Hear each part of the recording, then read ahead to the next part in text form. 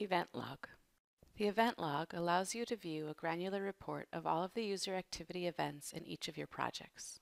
You can access the event log by navigating to Event Log on the left-hand navigation menu.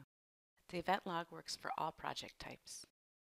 The event log lists all user-initiated events that have occurred in the project within the last 60 days.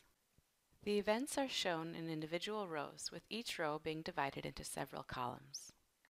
The columns show the event time, the username of the user who initiated the event, the event name, and a brief description of the event. You can sort the event list within the event log by each individual column by either ascending or descending order by clicking that specific column.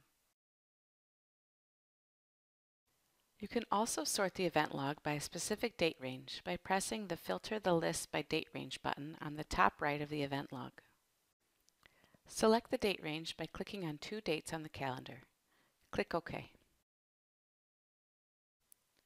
To clear the data range selected, click again on the Filter button and click Clear. Click OK. You can refresh the event log in real time by clicking the Refresh the List button.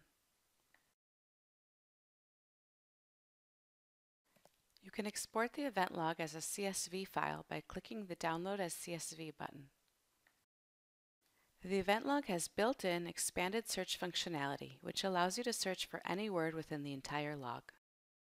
You can search for a specific username, event, or description, or for parts of each. The search will filter the event list by the search term.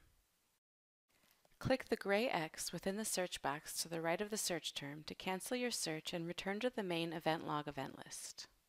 The event log displays a variety of events. Each event is followed by a brief description. You can learn more about each event in our documentation portal at docs.cloudendure.com.